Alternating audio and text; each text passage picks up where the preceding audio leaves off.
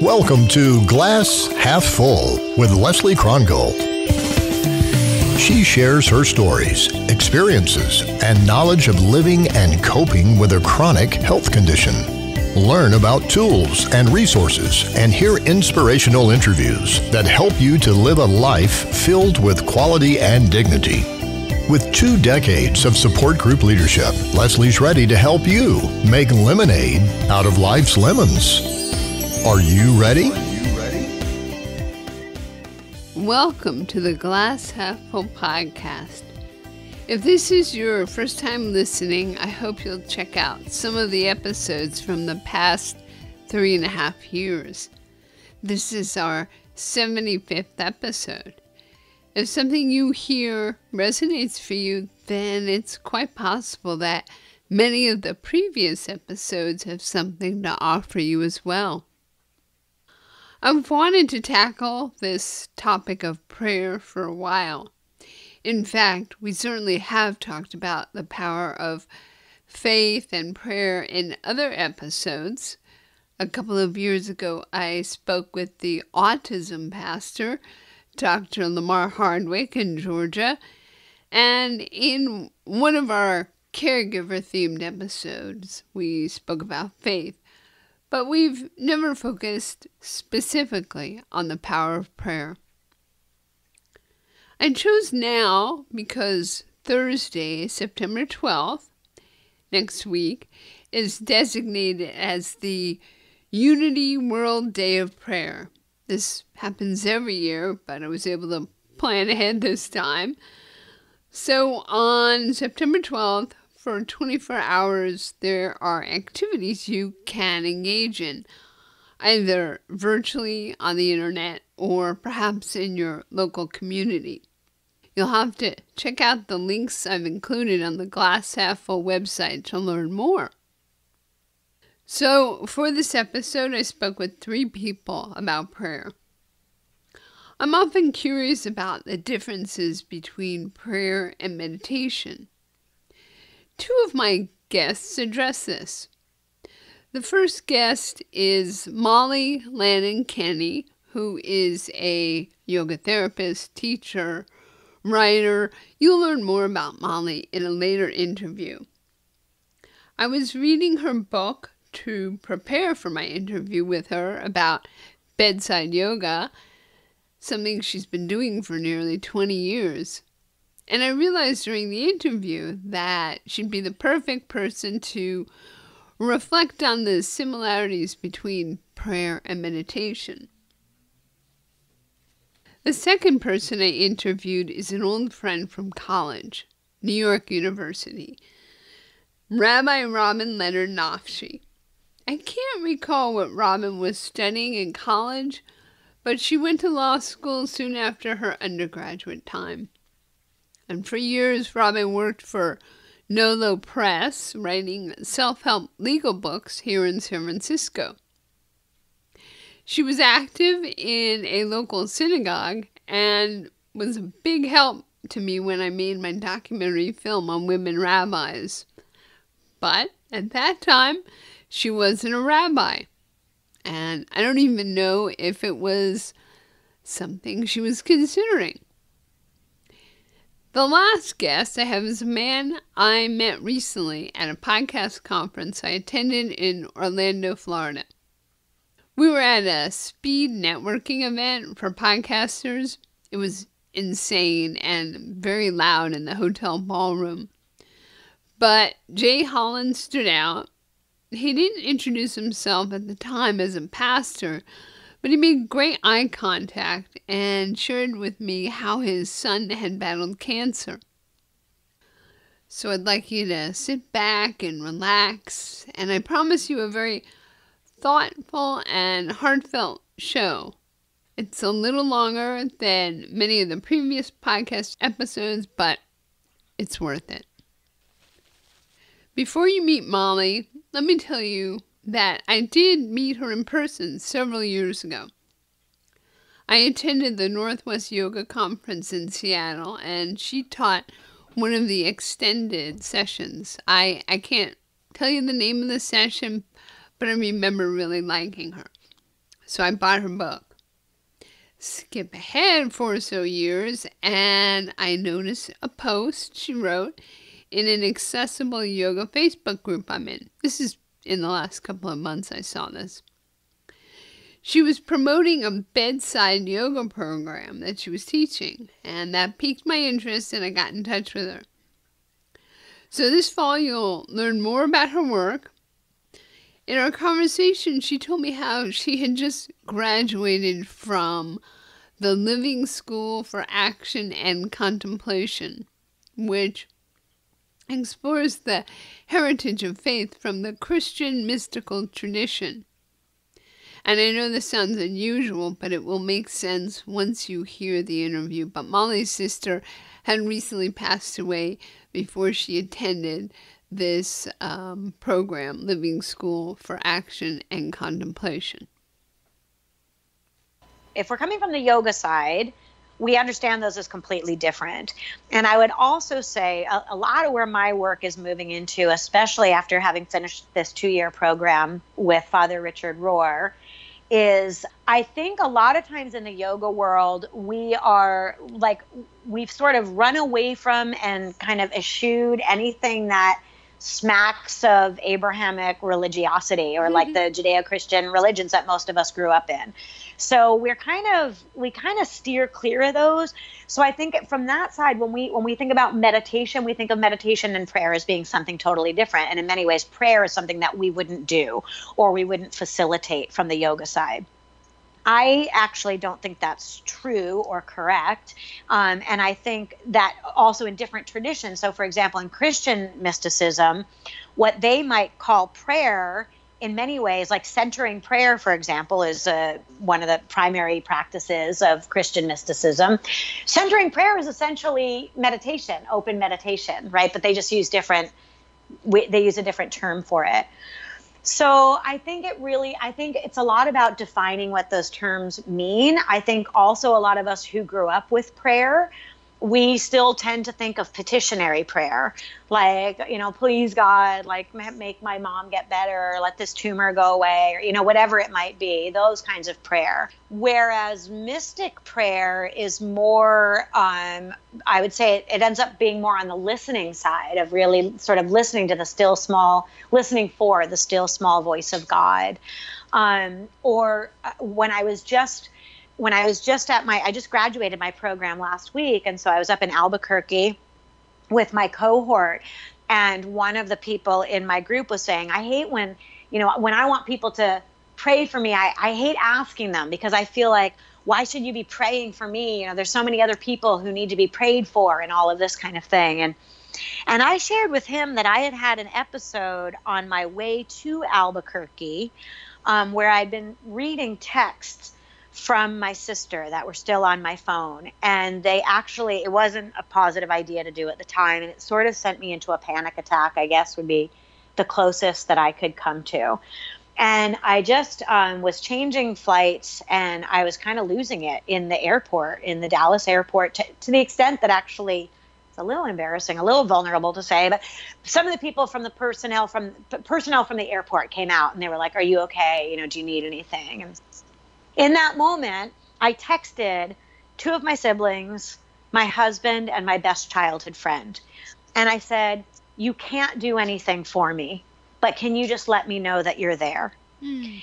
And my friends who were in at the living school with me had been talking about how he didn't like when, you know, to ask people to pray for him. They said, Well, that's that's really what prayer is. That like you've just defined prayer. Prayer is really the act of reaching out, whether to a uh, quote unquote real person, a material person, or to a divine presence, and saying, Can you bear witness to my suffering so that I don't hold it alone? And I think that that is an extremely powerful and useful tool for for all of us to whether you know whatever way we want to define it or whatever religious orientation we might connect with or or push away um, the idea of being able to just open ourselves up and ask that we are witnessed in our suffering is is a prayer modality that is extremely healing and useful. I've already told you that I met Robin years ago when we were in college. She now lives in Concord, New Hampshire, and is in her 10th year as the rabbi for Temple Beth Jacob, a congregation of 200 families. So, what is prayer in Judaism? How how do Jews pray? When? What is the importance and and what are the variety of ways that prayer is part of one's life? So, in, in traditional Judaism, uh, a Jew prays three times a day morning, afternoon, and evening. And pr- prayers are essentially made up of three kinds. There are prayers that praise God or bless God, there are prayers that thank God, and then there are prayers that make requests of God. And for most of our prayers outside the Sabbath, all three kinds are a part of the prayer service. On the Sabbath, however, prayers of request are generally removed from the prayer service. The idea that the Sabbath is a day of rest, and if uh, God rested on the seventh day, we humans rest on the seventh day. We continue to allow God to rest, and so we don't ask for prayers. We don't ask for things we don't make requests of God. The only exceptions, and these are interesting, are prayers for peace and prayers for healing. Mm-hmm. We can ask those questions uh, and ask for those things even on the Sabbath. So three types of prayers, three times a day that we pray. Um, but that's the formula and the formality of prayer. I think prayer for Jews is as individual as each Jew is. Prayer can be a way to speak directly to the divine prayer can be a way to speak directly to oneself, uh, and particularly if one thinks that God is within. Prayer can even be an expression of aspiration, what what I'm hoping for. Right when we pray for peace, or may the one who makes peace in the high heavens bring peace to us. We don't know that there's peace in the high heavens. We're we're hoping there is, but it is what we aspire to on earth and for our own lives and for our family and community. So we have lots of prayers for peace. And again, it's not that we do it because we think each time we say it, it's to. Um, it, it, it, it's either we're we're frustrated because it feels empty because it's not being there's no response because there's so much war and hatred in the world. But again, it's something to which we aspire, or it may be something to which we seek ourselves. Uh, we also note that the word for peace, shalom, shares its root with the word for healing and wholeness, which is shlemut. Um, and so, really, healing means to be at peace. I, I, I will often, somebody tells me that their loved one is perhaps you know in hospice or dying, and I'll ask them if they want to be on our healing prayer list. To which the person will say to me, "They're not going to get better. Uh, you don't need to put them on the list." And I said, a healing prayer is not is not about curing. Healing and curing are two different things. Uh, one can be healed by dying at peace with the illness one's had, or the cancer, or um, being able to leave one's loved ones behind, or whatever it is. That is that is a peaceful, you know, a way of healing and bringing about peace. Um, but that's not curing. Those are two very different things. And we don't pray for curing when when when somebody is sick, we pray for a refuah shlema. Refuah is healing, and shlema is like a complete and whole healing. So it's complete, com, you know, completeness and wholeness and health, and all wrapped up in that sense of peace.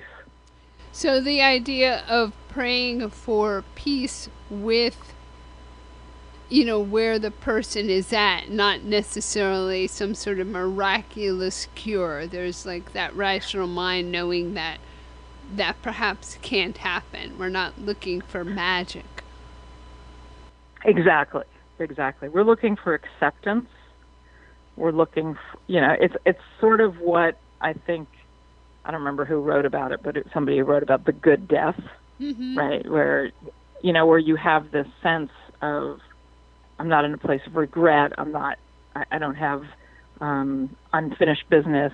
I'm not leaving relationships ugly. You know, all of those kinds of things where you where you come to a, where you're completely at peace with with the diagnosis, and you're you have an acceptance of it, and you know you you're able to move forward in a place where there's really a sense of peace and wholeness to you. Um, but but you know th- that isn't to say that when somebody has a kind of you know a chronic condition, um, which isn't necessarily a death sentence, that is the you know those kinds of prayers for peace are for remission. They're prayers for a particular course of treatment to work successfully, even if we know that the person will come in and out of uh, flare-ups to their illness. Um, we still pray for, you know, a you know, sort of receding of the of the uh, of the condition. You know, so yes, we can we can ask for things that seem not miraculous, but I think most people pray, quite frankly, for themselves. Mm-hmm. Um, whether or not they're seeking a connection to the divine, prayer helps a person feel centered. Prayer can help a person feel of that sense of peace. Many people and I think this is really interesting with the yoga practitioner is that you know peace and uh, prayer and meditation often for some are one and the same, and they wake up in the morning and they have a practice that involves prayer and it involves breathing and it involves maybe yoga positions. So you know it's all along a continuum, um, particularly for those who are not traditional Jews, Orthodox Jews who wake who will wake up and say a set of recite a set of prayers that have been predetermined. Um, and many of them, you know, that is a deep spiritual connection, and they feel that connection to God by doing this, and they feel that sense of wholeness and completion. For others, it feels like an empty recitation, mm-hmm. and they're, you know, they, they do it because that's what they're supposed to do, but they don't always find meaning. And I've had many a conversation with Orthodox Jewish friends who say sometimes like they admire the liberal denominations where you can focus on a particular prayer or a particular chant or something that brings you meaning um, in that moment without feeling like you have to go through a whole litany of things just to get through them because somebody said you were supposed to do that. What about community prayer as a community versus prayer alone or someone coming to you and you praying with them? How are yeah. What's, what are the differences I think, there? So I think for for most people, they are overwhelmed in a positive way when they think about the fact that a community is praying for them. So people will very specifically say to me, "Can you include my name on the the healing list, the prayer list?" I have three people on there. In fact, one had a stroke around the time she turned in her early 70s she just had her 80th birthday. Wow. She is probably, yeah, she is probably about as far along as she is going to get in her rehab. She has to live in a nursing home probably for the rest of her life. But truly knowing that people were praying for her every time we came together as a community and that we still do gives her so much uh, joy mm-hmm. and hope and possibility um, that you know, she's taken up piano, she's taken up a little bit of painting. You know, she really has found reasons to live, and and it helps her so much knowing that her community is praying for her every week, every week, every time we we join together in a prayer service. So it's it's fascinating and and fabulous to me, and I and I have some other congregants similar. I have one who has chronic liver disease, and she is on registries and lists waiting for a liver transplant. She goes for um, treatment three or four times a week. Um, and she is, you know, she too loves coming to synagogue when she's able to, but she's usually not. She's usually able to. She's usually so exhausted. But it gives her strength feeling and knowing that her community is praying for her. And even people in a communal setting where they may say a loved one's name silently, so it's not even said out loud, or they say their own name silently. There's this sense for many people that all of these voices together rise up to some place, you know, the source, the divine, call it God, whatever, and from there goes out into the universe and brings healing to all those in the universe who are in need of healing. So many, many, many people nowadays come to synagogue to say a healing prayer, whereas a generation or two ago they would come on the anniversary of the death of a loved one. Now it's more to say a healing prayer for their loved one. I was reading something yesterday because uh, I'm trying to do a little research, you know, like actual scientific studies um, about the power of prayer. And it was introduced to the term, and I don't have it in front of me, so I may be mispronouncing it intercessory prayer. Something? Yeah, yes, you've got it. Inter- intercessory prayer. It's it's that is where you're praying for people when they don't know you're praying for them and the, the, the attempt is to figure out if it makes a difference in a person's life. Are they going to be cured or healed or whatever measurement the uh, whoever is doing the study uses when people who you don't know are praying for you pray for you. It's very controversial as to whether or not uh, there is a success rate to it. You know, someone will point out, oh well, this study showed you know more people with cancer were healed or went into remission than in another study. The overwhelming majority of studies show no difference at all. And I think that's partly because for people to get a sense of healing or feel uh, an improvement and therefore then report an improvement, they need to know they're being prayed for. Mm-hmm. So as soon as you add that element to it, then most definitely the rate of reported healing or feeling better or even possible cure or remission tends to go up because I think people do really benefit from knowing people are praying for them. Mm-hmm. It's when you do it without their knowledge is the very controversial part of it of whether or not it's really has any efficacy. I'm glad you're familiar with that. So you Oh, very. I when I was in rabbinical school, I did an independent study with a theology professor on, and it was entitled, you know, Why Pray for, Healing. And so it was all about, it was partially about intercessory prayer, but it was also about communal prayer and individual prayer and why we pray. You know, why go into a hospital room and stand by the side of a bed and ask a person if you can pray for them or you can join them in prayer and pray together. Why do that? Why do it in a communal setting? All of that. And I was trying to I was exploring in that paper of whether I could come up with a theological reason for it. And I ultimately decided that no, I could not because it was so incredibly individual. Mm-hmm. Whereas, you know, someone was seeking God and someone was seeking community and someone was seeking not to be alone. I mean, they just wanted to know that somebody cared about them and loved them and held them in their hearts and were willing to pray for them. And it was just a way to counter loneliness, mm. which um, I think anybody who has had any kind of a chronic condition, a debilitating condition, knows exactly what the loneliness of illness is. So it just happens that I have a history with you, but you're certainly the right person to talk to about all this. How great! How fortuitous!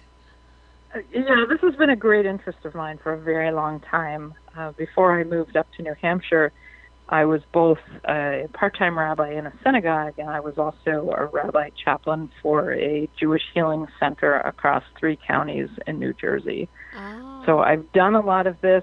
I've, I've worked as a hospice chaplain. I, I've done a lot of it. I've thought a lot about it. I've researched it.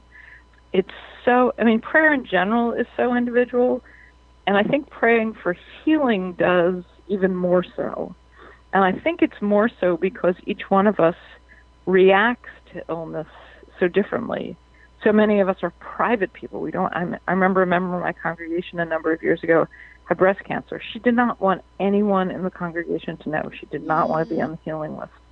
Right. So I actually keep on the healing list like initials at wow. the bottom where you wouldn't where nobody would know who they are. They you know, like say RC. I mean, hmm. there's probably you know a bunch of people in the community named with the initials RC, and it doesn't even have to be from the congregation. It can be somebody I know of, and you know, in, in in my family or in you know somebody else who's just said, you know, please pray for my uncle Richard, who doesn't want to be announced publicly anywhere, but please. So I'll have those initials down there, and I and I will do that with people because even though they don't want the community to know, and they're very private people, they still benefited from knowing that someone was praying for them. that someone held them in their heart and, you know, asked literally asked God uh, for healing each, mm-hmm. you know.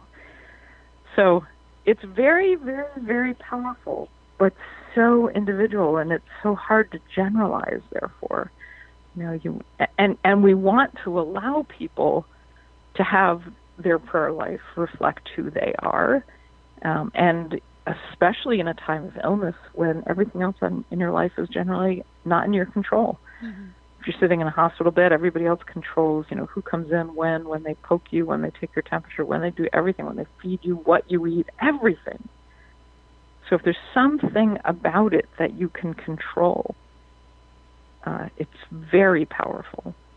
So being being prayed for by whom, when, and what capacity is often just the smallest thing to give a person control over. Well, for how how about dis? Um, I don't know what the best term would be. I want to say disbeliever. That that sounds so negative. But someone who is identifies as atheist or agnostic, and there's certainly you know cultural Jews or Jews who no longer identify as Jews but are still Jewish.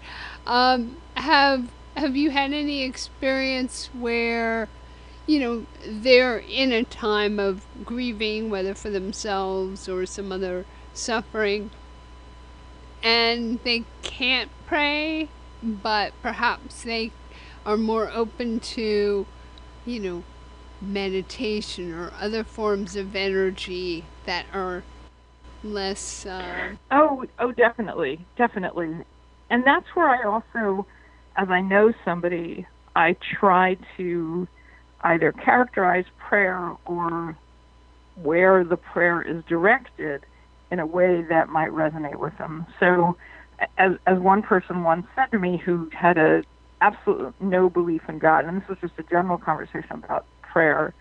He said to me, you know, when I come to synagogue and I say the words of the prayers, it's not because I believe them to be literal. He said, I just think it adds to the source of energy in the universe that then goes out and touches each one of us. He said, I don't think there's any kind of divine who's directing it or taking it all in and sending it back out.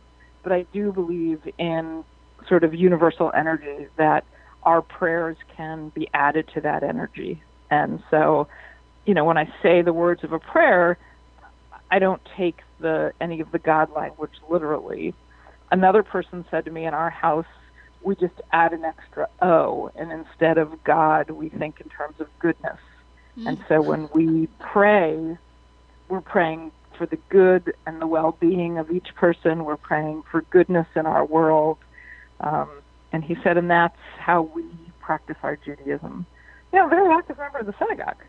Um, it's it's not that it keeps anybody from being connected, but they've made peace with where they have where they are theologically when they have no no belief in God or no sense of God. But it doesn't mean they're not going to not going to participate in prayer because they they recognize and I try to teach that that prayer that prayer is metaphor.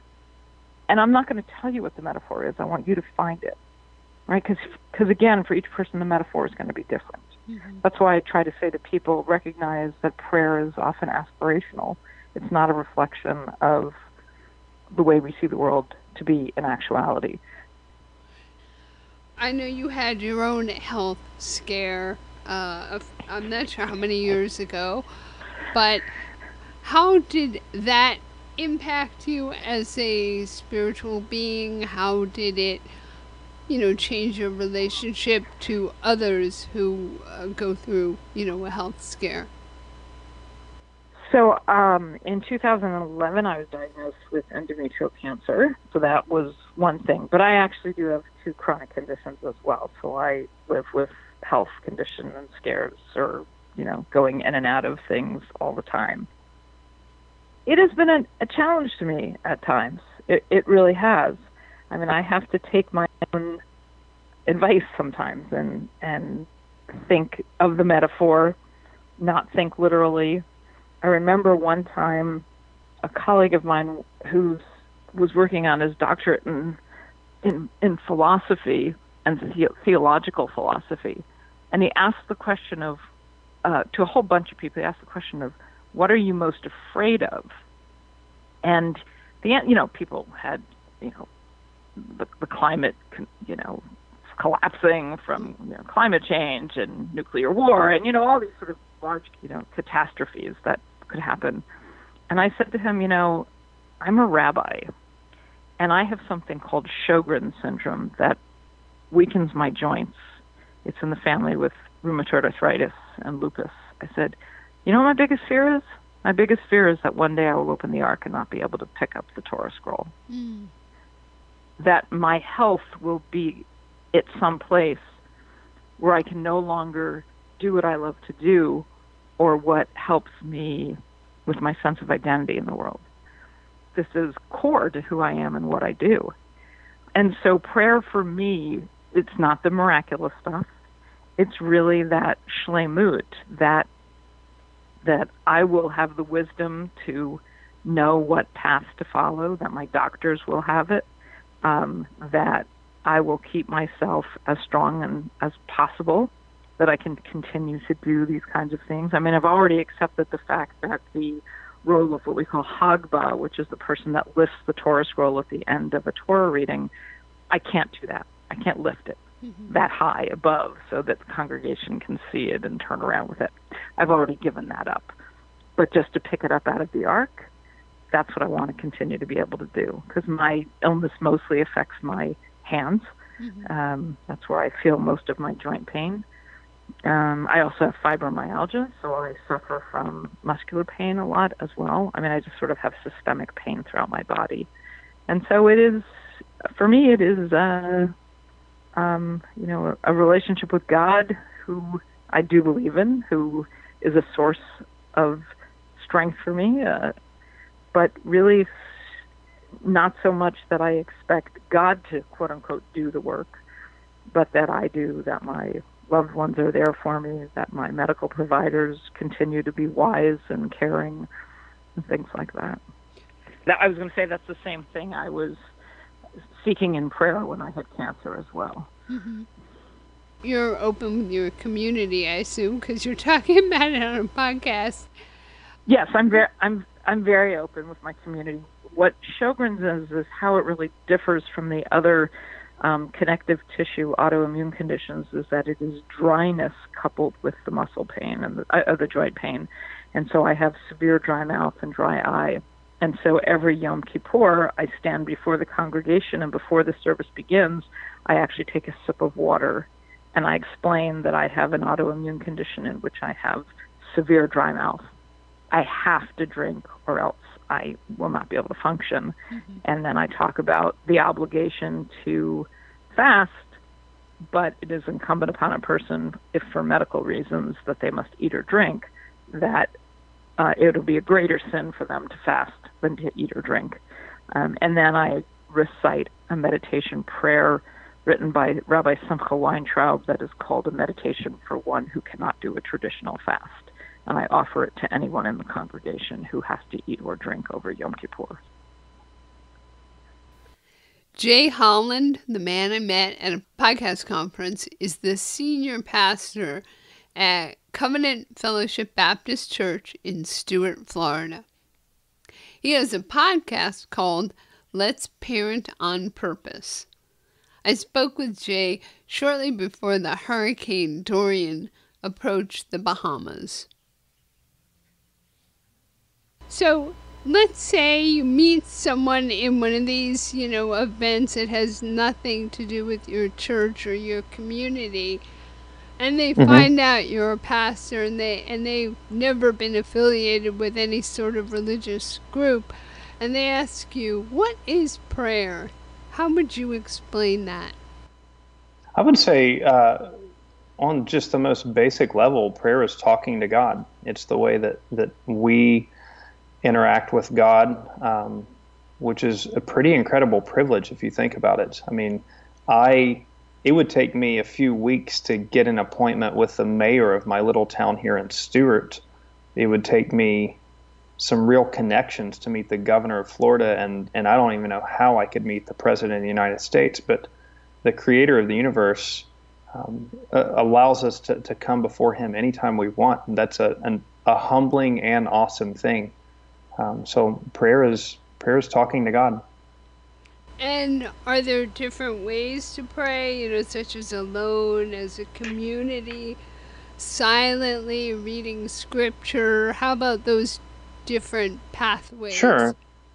Yeah, absolutely. I think, um, y- you know, when you ask are there different ways to pray, you think about your relationship with with anybody else. Are there different conversations that you'll have with them? You know, I'm been married for 12 years and and I love having really engaging conversations with my wife, but sometimes I just like being by her side. You know, so we sometimes our time off is just happily being next to one another, enjoying the presence of each other, even if we don't have a lot to say. So, um, you know, I think prayer a, a really healthy way sometimes is you know if you don't know what to pray.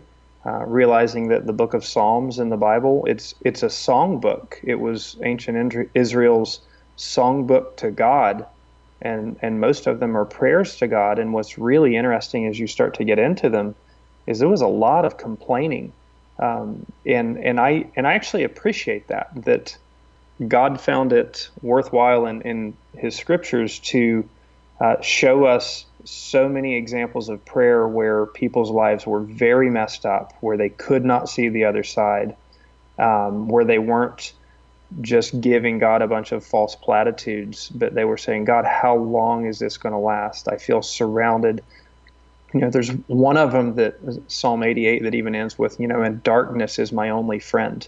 Um, so there's some real depths of despair sometimes in prayer, but I think I think some of those are the, the greatest acts of faith that you can have because um, to to go to God and say, I don't know what's going on, I don't trust, you know, I, I don't even know how to trust right now, but I trust enough to still come to you is, is a pretty extreme act of faith.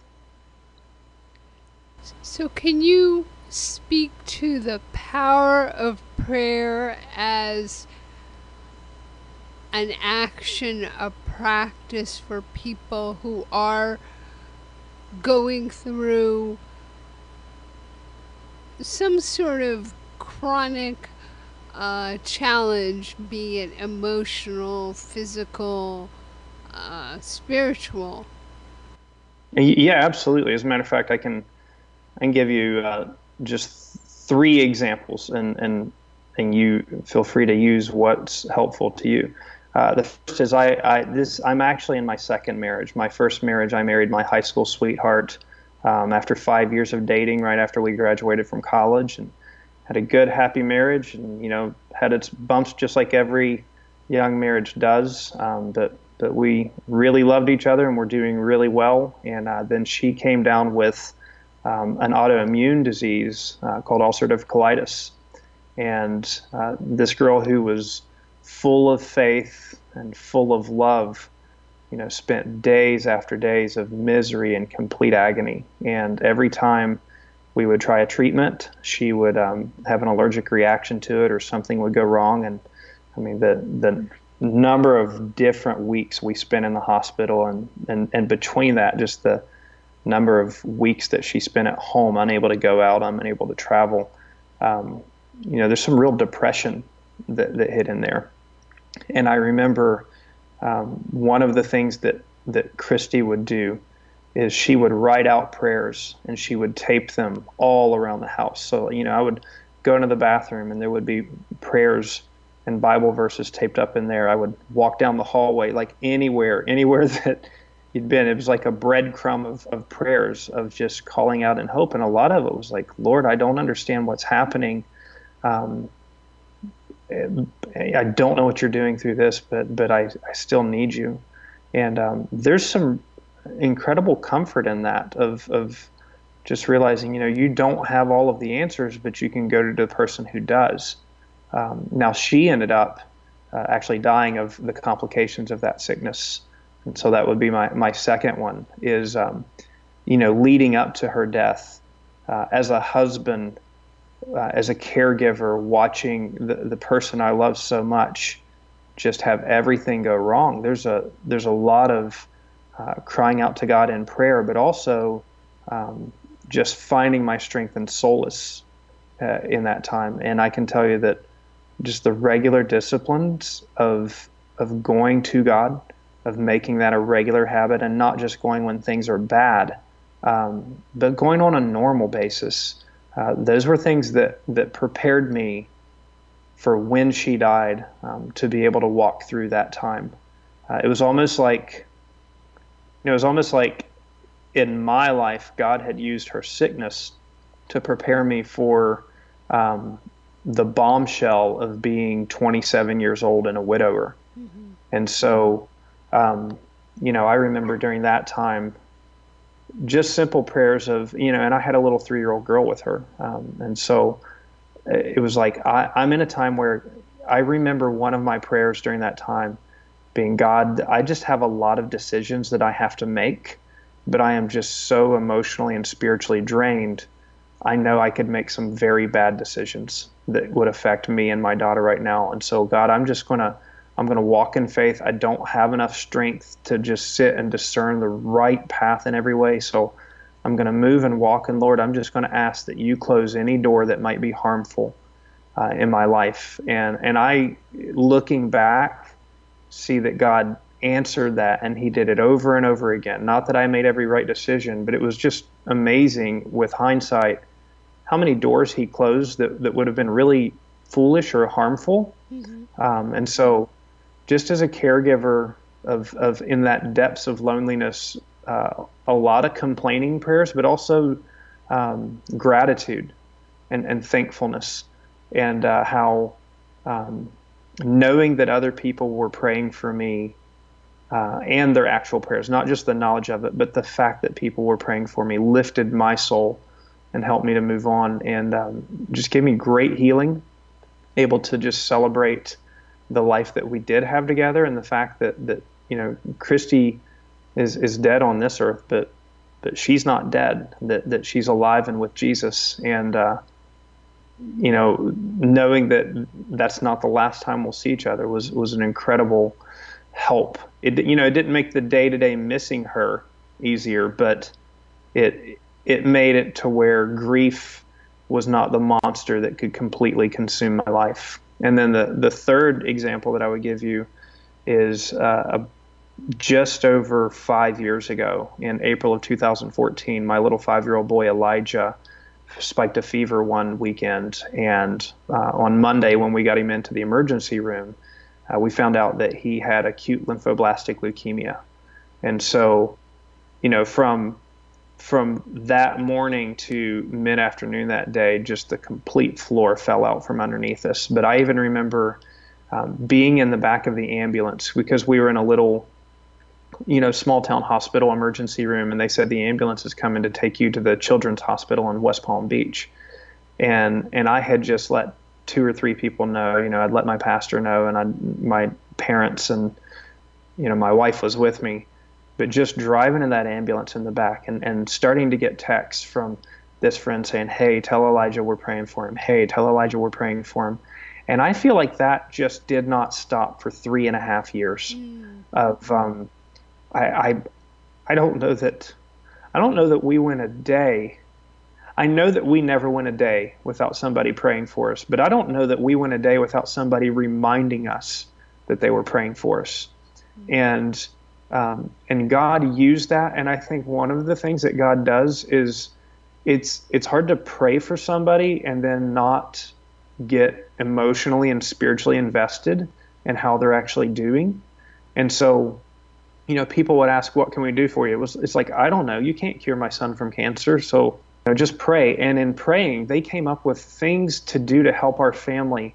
Um, I mean, we it, was like we went through an extreme makeover homeowner edition. When we were down in the hospital, we had we had people swarm into our house, rip up all of the carpets, lay down hardwood floors, bought a new heating air conditioning system that had one of those UV lights in it to kill bacteria. Mm um, I mean, they, they, they, like they they probably put twenty thousand dollars in remodeling in our house in the first two weeks that we were in the hospital, and and I think all of that was really launched from prayer, um, from just people lifting up to God, you know, Lord, help him and sustain this family, and what can we do? And then God puts things on their hearts, and they and they walk. So, you know, that's the I think that's one of the beauties of prayer is it's not a one way street.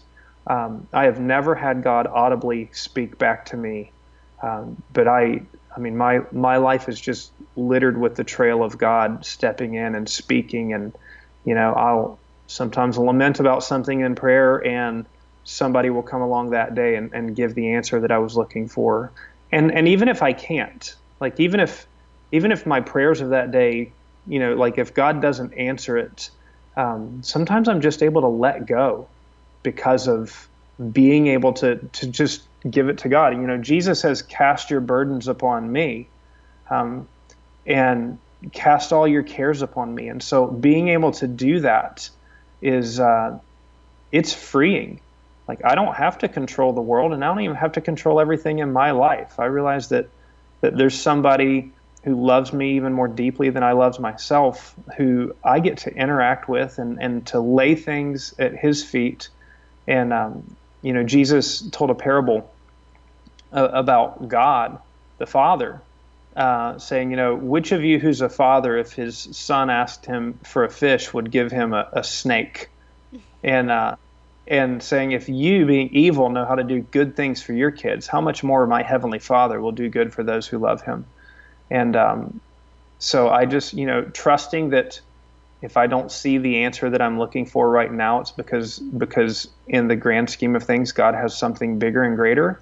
And you know, and I'll be honest, like I've been really, really um, not happy with that answer in the moment, but but over the course of my life, you know, given a little bit of depth and perspective, I just I see the hand of God, and what a joy to get to go to Him, not just when things are bad, but also when things are good, um, and when things are just normal. You know, like one thing about thinking you're going to lose your son to cancer is is every day is a gift you know, the most normal, mundane day when nothing remarkable happens is an absolute treasure. Mm-hmm. And remembering to go back and thank God for those treasures um, is just something that, that I think we fail to do quite often. Like, you know, when's the last time you thanked God for your opposable thumbs? Well, you know, wait till you hurt one of them, and then all of a sudden it's a big deal. Right. But um, we're just so littered with gifts in our lives, and, and I think prayer lifts our soul. Hmm. And your son, Elijah, five years, right? Five years uh, this August. Actually, I think maybe the day we met, Leslie, oh. uh, was was five years from the first cancer-free diagnosis that he had. So uh, we keep having celebrations, and um, with his, it's actually five years post-treatment before they consider the very uh, he's very high risk for relapse, but you know every day we go on is a, is another victory day and lowers the chances of relapse. So we've got another two years of um, that cloud kind of being over us, but but it's you know what I've got four kids and I'm not guaranteed tomorrow with any of them. So Elijah's just the one that gives us perspective on all of that. There's one more thing that I think, especially coming from a, a uniquely Christian perspective, that is um, so empowering in prayer. In the book of Hebrews, uh, it talks about how Jesus is our great high priest. Um, and the role of the priest was to come before God. Uh, you know, in the Old Testament, the role of the priest was to come before God on behalf of the people, but now we get to go directly to God. But we do so alongside Jesus. And, and, and in Hebrews, it says, We have a great high priest um, who understands us because he has suffered in every way uh, like we have, yet without sin. And when I really realized what that meant, it meant that, you know, because like I know Jesus was God and I know he was fully man and fully God, but I sometimes think that he didn't live the kind of drudgery life that we do sometimes. Um, but he was born into an impoverished family. Uh, he grew up, you know, as a day laborer, basically, as, as a carpenter. He, you know, in his ministry, he was homeless. Uh, he knew hunger he knew pain. Um, he knew betrayal by best friends. He knew people in his family not understanding him and laughing at him and thinking he was crazy. Uh, and so, you know, one of the confidences that I have in, in going to God in prayer is that I, you know, as I go in Jesus' name, you know, and Jesus represents me, he understands my suffering. Um, and, and to me, that's having a God that understands our suffering is, is pretty profound. And I think is, is one of those calls like, why would you not pray mm. if, if that's the case? Well, thank you, Jay. I, uh, yes, ma'am. I wish you and your family uh, peace during the storm, and I'll be watching the news and and sending my prayers to Florida. I appreciate it. Yeah. I appreciate it. And Leslie, uh, how how could I pray for you? Oh, just I don't know. That's a that's a good question just recognizing me and who I am and what I do is is uh, solace to me. Mm-hmm. Well, good. Well, can I pray for you right now? Sure. All right. Lord, I just thank you for this time with Leslie. I thank you for putting us in front of one another um, at the podcast movement. And uh, having listened to her podcast some and, and hearing what she's doing, I just thank you for her. I thank you how um, she has not fallen into letting this this condition that she has, letting letting those um, challenges be her story, and and she's not fallen into uh, living the rest of her life as a victim. And God, I pray that as she puts together these podcasts, as she uh, mentors people, God, I pray that you would help her to see the goodness of God in her life. I pray that that Jesus would be very real and evident. And I pray that you would um, help bring the, the very people to this show that can be most helped. We know that there's so many people out there just on their last rope, so many people in despair. And I pray that, that they could find the show, that they could find great comfort in it, and that you could uh, help Leslie know that she's doing a really worthwhile work. And I pray that you would make it very fruitful. In Jesus' name, amen. Amen. Thank you, Jay.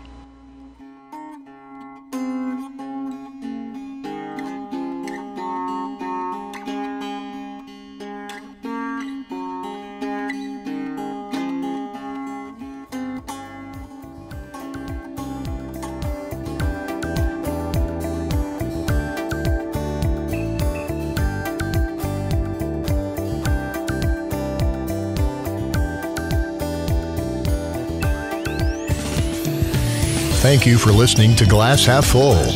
Leslie invites you to leave a rating and review on iTunes. This helps spread the word to others dealing with chronic health issues. For show notes, updates, and more, visit the website glasshalffull.online. Glasshalffull.online.